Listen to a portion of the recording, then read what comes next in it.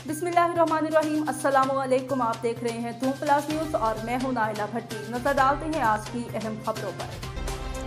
खबर शामिल करते हैं लियाकतपुर से। हमारे सिटी रिपोर्टर मोहम्मद शहबाज वकास की रिपोर्ट से लियाकतपुर हादसा। लियाकतपुर जिनपुर के करीब माल मवेशी से भरा ट्रक उलट गया।